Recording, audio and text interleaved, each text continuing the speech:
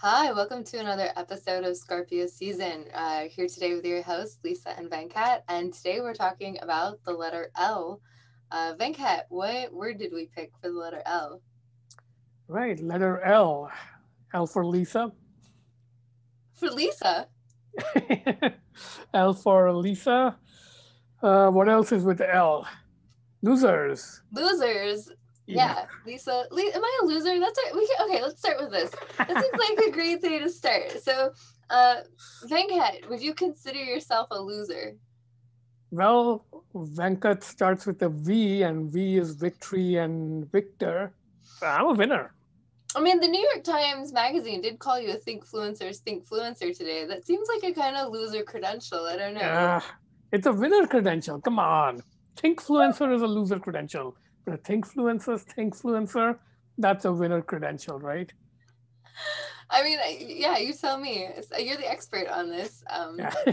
That one was kind of funny. So, uh, just to bring people up to speed on what Lisa is talking about, uh, the New York Times uh, magazine yesterday, so that would be the 24th of January. Mm-hmm. It has an article by Kyle Chayka, who um, quotes me uh, relating to things like domestic cozy trends and stuff.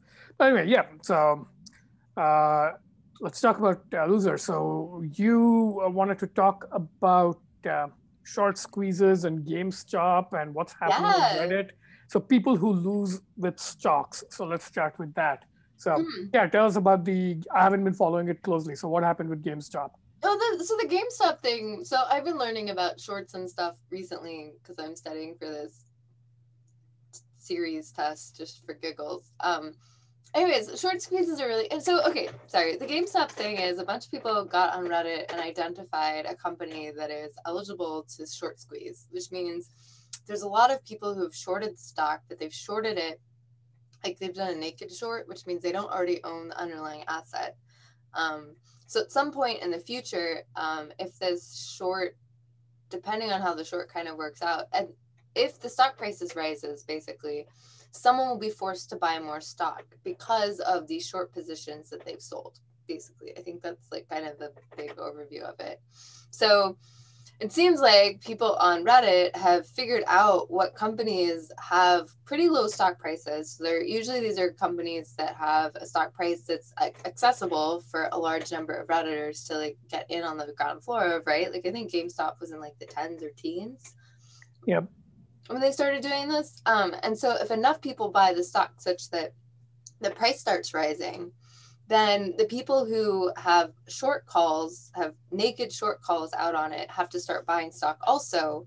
Um, and then because because some people like so basically buy up most of the available stock at a certain price and then that moves the price up and then the short sellers who have depending on where their short contracts are start having to buy more stock to cover their positions so it goes from being mostly naked to more covered basically um, so it was 100 shares uh, of stock. They only had to own 40 when they made the bet. And then the price goes up. Suddenly they need to own 60. So all of those contracts, now they have to go out and acquire more stock in order to keep the contracts, in order to fulfill the contract.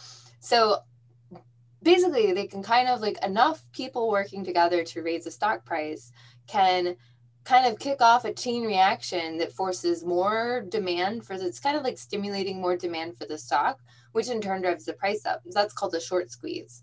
Mm-hmm. um, so they're basically forcing people who have short positions to go out and buy stock so that their short position um, becomes more covered basically. Okay. Covered means that you so they get up end up with margin calls and at some point they have to like basically buy the stock very expensively. Yeah. but the ride yeah. ends right? I mean um, once um, the margin calls are through and they've kind of like uh, covered their positions the yep. fundamental price uh, dynamics still kick in and the price still crashes. So who is left holding the stock at the expensive price is the um, question right? Because they're the losers in, the, in this picture. Whoever is left holding the expensive stock? Uh, yeah, I think whoever ended up having to acquire the stock at the expensive price is the one who's out whatever they spent to acquire the stock at the expensive price. So if you get in early enough on the like Reddit rating party and you buy the price at a pretty low price such that you kick off the selling fr- the buying frenzy that all the shorts have to incur, um, then you sell out to you sell you know you buy, get in low all of a sudden all these other people have to start buying it because you force the price up and then you sell out when it's high and you make you know you make the difference um, yeah so this is a short squeeze in an interesting new way i think because it's engineered by a crowd sort of colluding in a way that I, I think went to losers, Venkat. These are retail retail stock buyers. They're supposed to be the losers on these trades, right? Yeah, and this is not something that I think the SEC could easily go after as collusion because it's almost like a, a crowd thing, right? How are you going to go and track down everybody on Reddit who's doing it? Though I guess sufficiently large buys will register. Like when I compare it to something else that happened that was uh, uh, the uh, Tesla short squeeze, right? But that was a much more ordinary kind of action where a lot of people were betting against Tesla, but then the stock just went up, partly because um, Elon is a good marketer and partly because the dynamics were improving. But whatever happened, they got squeezed. And there was some entertainment there, right? Like he promised to sell, send everybody uh, short shorts. Do you remember that oh, little no, episode?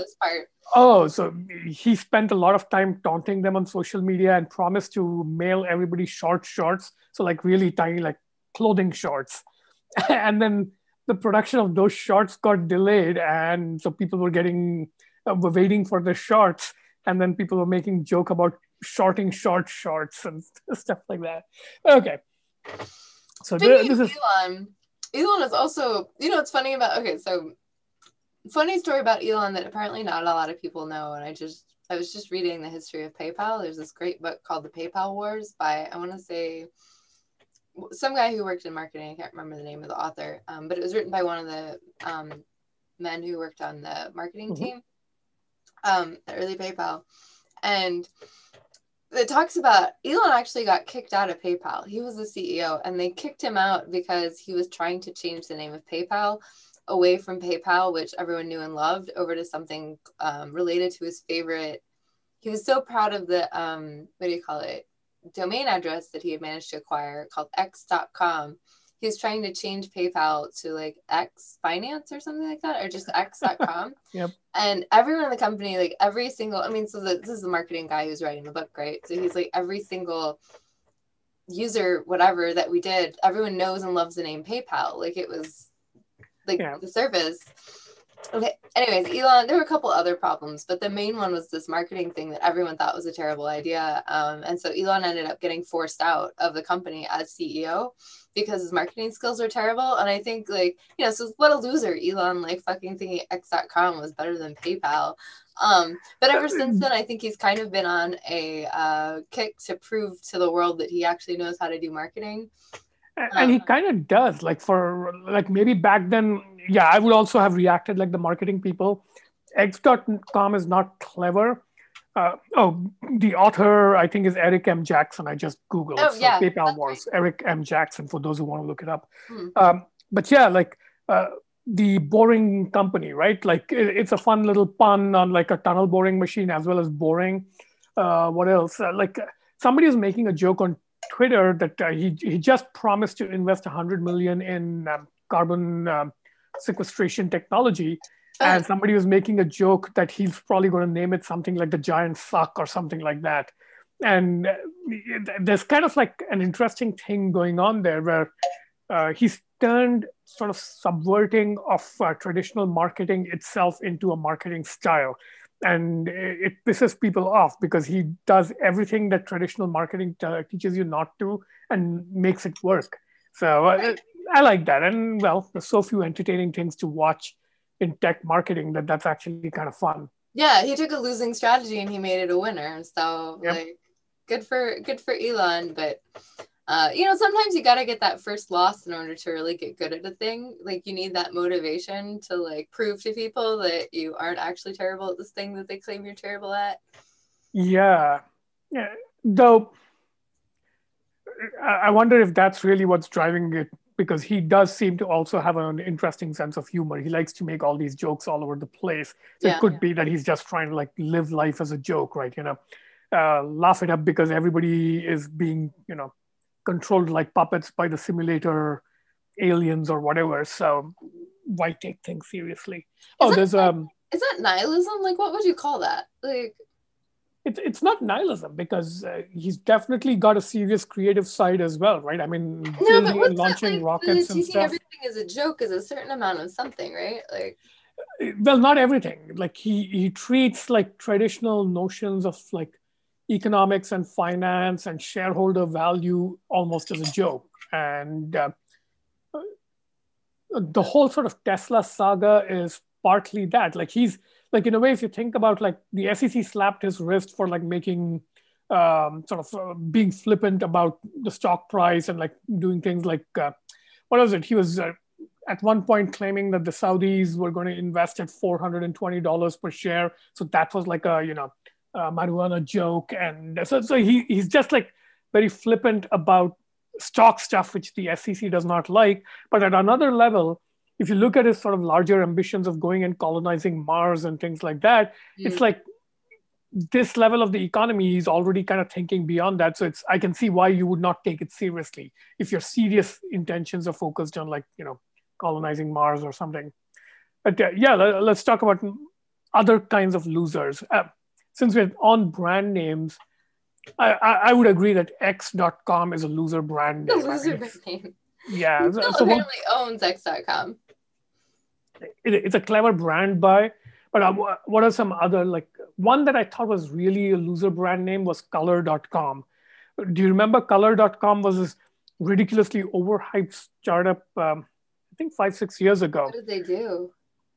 It was a photo sharing app of some sort. Oh. But this was like it would have been okay to make the mistake in like 2000 when people hadn't yet figured out that like commodity brand names don't work well like if you want to sell cars don't sell make it cars.com want to sell books, books.com is not a good brand name. You want to be Amazon. But making that mistake in like 2014 or 2015, like 15 years after people had figured out these branding things. So color.com, I think, is a terrible name. So anything like that, it's a loser name. Don't pick a loser name is a yep. good, that's probably a good life strategy. Um, I think Donald is going to be a loser name for a long time. Wasn't that like they had something about how Hillary, one of my coworkers at Etsy was uh, one of our data scientists at Etsy, her name was Hillary, and she had good stats on how the use like calling your baby Hillary dropped off a cliff sometime after Hillary Clinton got into the limelight. I don't remember exactly what the year was, but she had like, you know, she'd show you like stats. Um, yeah. I, I wonder if the same thing happened to Adolf or I think Adolf is common enough a German name that it probably didn't totally fall off a cliff. Right. But Hitler as a last name probably did. Like I doubt anybody wants to cop oh, to the last name Hitler. Name, wasn't it? Wow. Yeah. Uh, uh, it wasn't like uh, it wasn't his original last name. I think his original last name was Schicklgruber or something like that. Hmm. So he, he changed it to something less loserish, which yes managed and, to turn into loserdom just mm-hmm. by his Mm. Uh, this is kind of interesting because, like, uh, Osama bin Laden is another example, right? Like, bin Laden is usually spelled B I N space L A D E N in English, mm-hmm. but there, it's a very common Arabic name and it's an extended clan or tribe or family. Yeah. So there's tons of people with the name, and I've noticed a lot of alternate spellings when other people, other, bin Ladens are mentioned. Like, I think I saw bin Laden spelled as one word, B I N L A D I N, mm. so a single word. So yeah, if you end up unfortunately with a name that uh, uh, is on the losing side of like a bad naming season, like you know Corona beer. I wonder what's happening to Corona beer now. I heard that they were doing okay. Yeah. Uh, but I do have, you know, I recently relearned of someone of a big project that got renamed that I thought had died, but no, it turns out they just renamed it. Um, Facebook's Libra Coin project.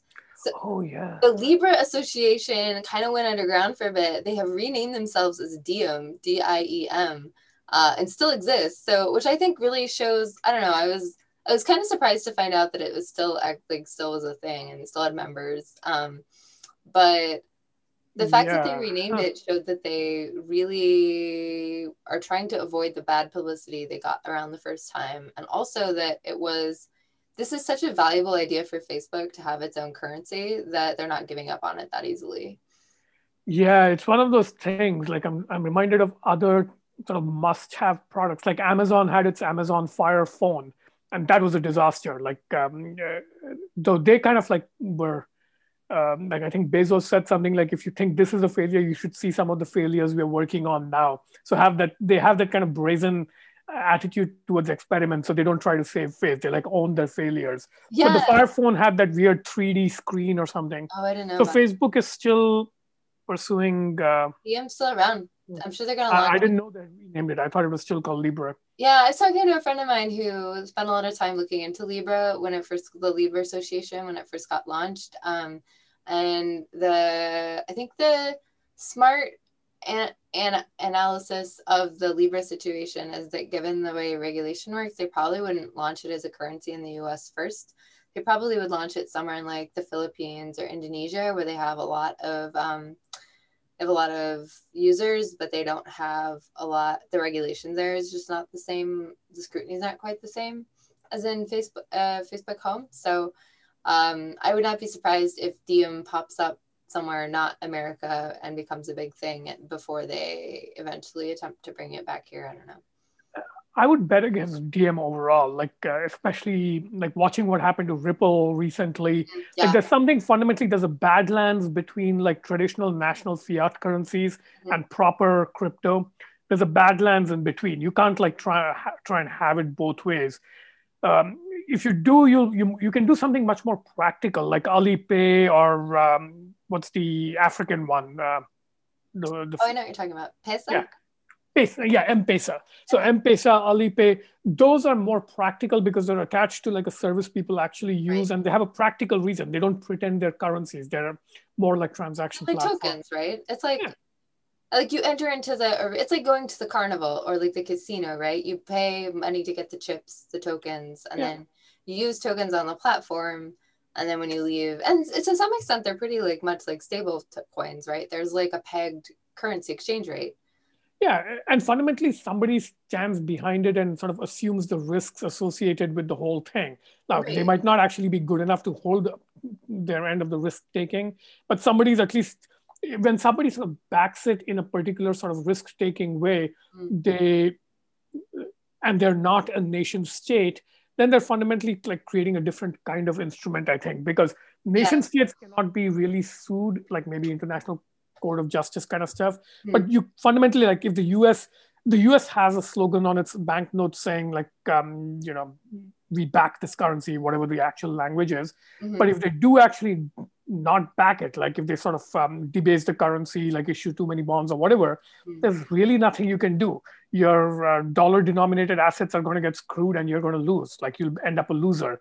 But if somebody else does it who's not a nation state, then you can actually you have some recourse, so, right? Yeah. Um, well, sort of. uh, yeah. yeah. There's something else I was thinking of just now. Lost track. Oh yeah, uh, somebody was uh, tweeting about how buying crypto is basically a bet against the U.S. dollar because Yeah, basically that. all the big com- countries that are, I don't know, buying up. No. uh, Yeah, I don't Yeah. know what I think about that. I mean, I think it's okay, let me summarize the argument I heard, and you tell me if it's right or wrong. okay. The argument I heard is that uh, countries like Russia and China are basically mining Bitcoin and selling it to high net worth US individuals Mhm. at a really high inflated price. And I forget who, uh, there's a guy named Professor Plum on Twitter who tweets about this stuff.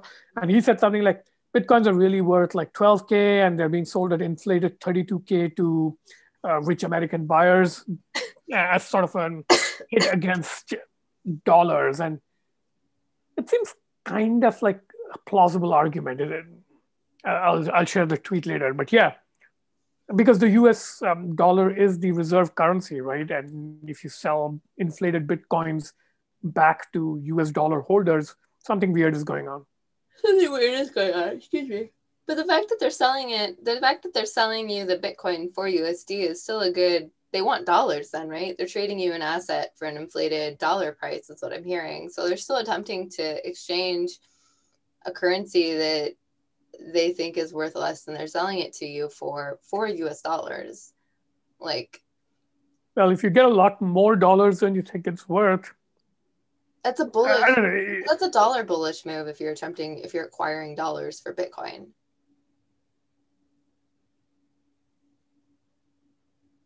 Or you're buying like an inflating like like maybe the true rate of inflation of dollars is really really high. And if you assume that bitcoins have a stable value like relative to the deflation curve and you know 21 million or whatever if you think they have like a relatively stable value in this sort of apocalyptic world and you're getting more and more dollars for every bitcoin each time you sell like between like week to week mm-hmm. it means that dollars are being uh, debased and inflated. So that's one another way to look at it. So the I don't know. I, I, am losing faith in the U.S. dollar simply because um, the U.S. government has uh, had a really terrible recent record. But it is, oh, yeah, there's a full faith and credit of the United States. Uh, what's that worth, Venkat? Is a good question. Um, yeah, yeah, I don't know. Um, I think that so I think that one thing that Bitcoin does really well that people struggle with and don't realize they're struggling with is that I think supply and demand is something that like people aren't used to really having to think about on a currency level. That sounds weird. Um, but like I kind of think I think we're seeing so like I think that humans have a kind of hard way of understanding how supply and demand and price action works. It sounds you would think that we would get it, but I think that we don't really. Um, yep. And I think that I think that the Bitcoin price can be as simple as demand and utility. Like it is, Bitcoin is legitimately useful, and I don't want to get in that conversation right now. But um, like uh, I think that there's definitely demand for Bitcoin, and that drives the price up. I don't think it necessarily yeah. has to say anything about U.S. dollars. Um, maybe part of the reason that the demand for Bitcoin exists is because people believe the U.S. dollar is a losing proposition. Um, uh, yeah, so I mean, the demand has its structured, uh, but I get what you're saying that the demand supply is kind of like very elemental for Bitcoin and not as distorted as many other things. Like yeah. the US dollar, I think, is in a very fundamentally weird position because so many global assets are denominated in US dollars. Yeah. So the, I think in that sense, the supply of US dollars is like way smaller than the demand. Like there's a lot more demand because so many things are denominated in US dollars. Yeah. So that's one market in the international currency markets. But in another market, in terms of like the export import trade and so forth, the US dollar is like, um, uh, it might have falling demand or something. But anyway, so, oh, that's your dog. Yeah. All right. So that's a roundup of uh, losers of various sorts. Uh, do you want to round off with, uh, yeah, so what are your top three losers from the past year? What do you think? Personal losers. Personal no, just whatever kind of losers. Global, personal uh, people named people if you like. Uh losers. Um hang on i gotta think about this. Uh fine we can do one at a time. I'll take the easy first one. Okay. my first top loser is trump. Like he uh, literally lost an election and was shown up to be like a loser as a person. Yeah well yeah. I think that i think that uh I think that we've kind of been losing out here on COVID. I think American people have sort of COVID's been a losing proposition for us. Um, I don't know. Right. Yeah. So Trump and the American people both are losers. Yeah. Uh, what else? I, I, think Silicon Valley has been on a losing streak lately. It's like um, the, the game is starting to end. So Silicon Valley, I would put in the losers column, um, not financially, but in lots of other ways. Culturally, as a significant force in the world, Silicon Valley is on a losing streak right now. Interesting. Yeah. Um, let's see. Losers. I'm I'm blanking. I don't really tend to think in terms of loserness. Uh it's an episode topic. I mean the whatever. Oh man. I don't know. Retail, that's my third one. Physical retail has been a big loser. Well, that's part of COVID. Like, not really. Yeah, no, but I think that's true. I think they have lost a lot. Um, I think there's like there's some amount of like governance. I think some amount of governance has been a loser. That sounds weird, but like I think that like kind of just thinking in broad terms to like bring it back to like the Wall Street bet short squeezing things like the SEC like it's kind of like I think it's kind of I don't want to be like losing control, but I think things are like definitely entering into like the weirding or like mm-hmm. some amount of collective action, like weirdness that um is making certain types of like governance really difficult. I would agree with that. Yeah. So governance institutions in general are losing their grip. They're losing to other kinds of like other competing sources of governance, whether it's the crowd, whether it's the market, whatever it is, other sources of governance are beating governance institutions per se. Yeah. Hmm. All right. So I have my three. You have two. You have one more to go. I have one more to go. Yeah. I uh, three. Um, one more loser. What have I thought is like kind of a losing proposition lately? I do think I've been like, well, I don't know. I've been kind of so I've been studying for my series 65. Like I'm kind of like cash just feels like a loser right now. like holding cash. It's like I just like I've, I've been thinking I don't know I've been trying to like find CDs and stuff to put money in and they're all shit. They're all trash. They're all losing propositions. Uh, none of the current savings technology like normal traditional stuff is a winning proposition at all. Loser they're all losing propositions because yeah. so uh, that's US dollar right? Because yeah. cash equals US dollar. Yeah. yeah. All right. So Trump Silicon Valley and retail are my three and yeah. your three are the US as a country, governance, American and governance. the US dollar. Mm-hmm. Okay. So lots of losers all around. All right. So that's it for L. That's it. For losers. Somebody once told me the world was gonna roll me. I ate the sharpest tool in the shed. She was looking kind of dumb with a finger and a thumb in the shape of an L on her forehead. Well, Sorry. Hey, we got you to sing finally. We did, yeah. All right, so that was uh, Lisa's Lisa on American Idol. All yeah, right. Uh, sort of. All right. Great talking to you as usual, Lisa. It's always a pleasure, Venkat. All right, we'll see you next week for M. Yes, M. All right. Bye. Ciao. Scorpio Season is proud to be sponsored by uh, Smokin Screws, the premium filter for your glass pipes water pipes, and one hitters. Check out their next generation screen technology at smokinscrews.com. Uh, we're also proud to be sponsored by Art of the Gig, a subscriber only newsletter for freelancers and independent consultants. Learn more about how to take your consulting practice to the next level at artofgig.com. Uh, great. Um, and if you liked our show, don't forget to like and subscribe.